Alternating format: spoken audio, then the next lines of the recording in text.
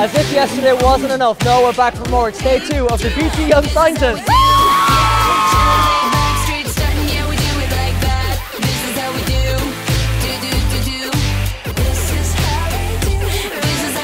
Another jam-packed day here at the RTÉ stand, and this morning, live on 2FM, it was Nicky Byrne.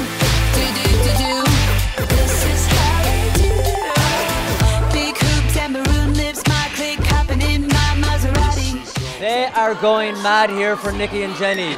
Did you expect this, Jenny? Uh, actually, I did. I work for him every day, so I knew we were going to get this when we arrived today. But then, Still cleaning your hands though from I that snake. know we, we were out holding a snake, and then it kind of it got caught in my bracelet, my wrist.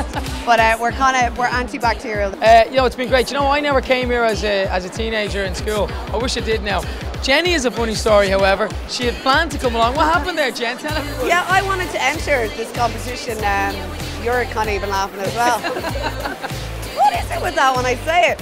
I came home in six, in not sixth year, in second year, and I said to my dad, "I'm going to enter the Young Scientists the early wage." Don't ridiculous. Look at me Honestly. now, though. Look at me now. You know, here, ruining the BT Young Scientists.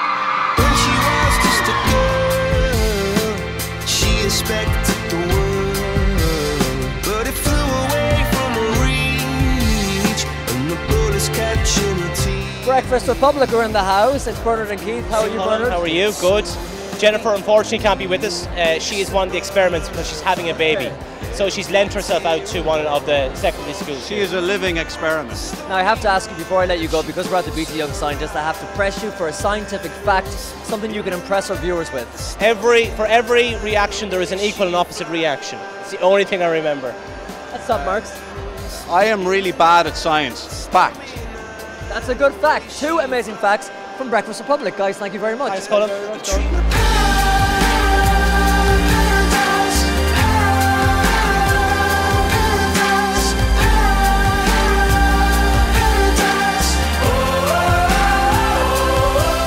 They all want to take selfies with Mr. Brian Dobson. How are you, Brian? Very well, I'm very well. I'm thrilled to be back at the Young Scientist. What is it you like about this every year? I like the energy. Really, it is, it is the perfect post-Christmas New Year pick-me-up. I recommend to any adult, there's loads of school children here, but any adult who's never been here, come down and just, just absorb the energy and the excitement and the fantastic projects that are on display here. These ladies here are waiting for a selfie. He's all yours.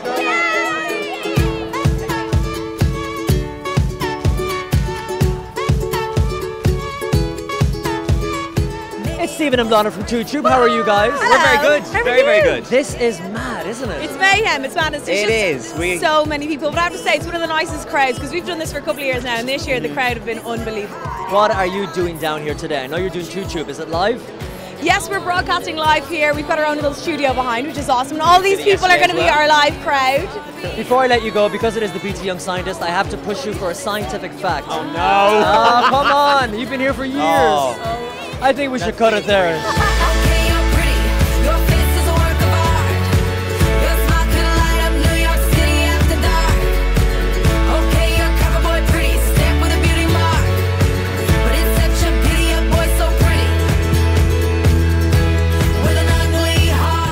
Previous winners of the BT Young Scientists, it's Emer and Ciara from Kinsale.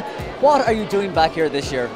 Uh, well, we're doing a bit of everything really. We're just looking forward to enjoying the exhibition, trying to spot the winner. Yeah, that's always a favourite pastime of ours. Ladies, I remember the moment that you won two years ago. I can picture it in my head. The confetti was falling down on you. You were going crazy, screaming. The crowd was going mad. What was it like to win the BT Young Scientists? Uh, winning the BT Young Scientist was probably one of the best things that happened to us in terms of like experiences that we've had from it. But also, um, it was so nice to see like our community so proud of us. What area of science are you thinking of at the moment?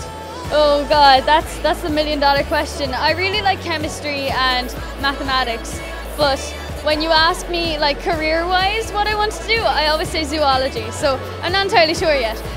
Zoology, chemistry. I'm a bit of an astrophysicist man myself. But anyway, it's all down to personal taste. Ladies, well done and enjoy the rest of the weekend. Thank you. Okay, you're pretty. Your face is a work of art. Your smile could probably light up New York. She's just after coming off stage. It's the winner of the RTÉ Social and Behavioural Award. Well done, Kate. How are you feeling? Oh, I can't believe it. It's really, really weird. Yeah. Did you expect it at all? No, definitely not. Um, yeah, I just kind of came here hoping to kind of show my project, do my best. Yeah. Wow, and now look at this. And what was the name of your project? What was the title? Uh, my project was Cyber Contagion, the science behind the Ice Bucket Challenge. Well, Kate, we are going to catch up with you more tomorrow and find out more about your project and the conclusions that you came to. And we're looking forward to having you as our guest of honour when we bring you on a tour of RTÉ. But for now, well done on winning the RTÉ award here at the BT Young Scientist.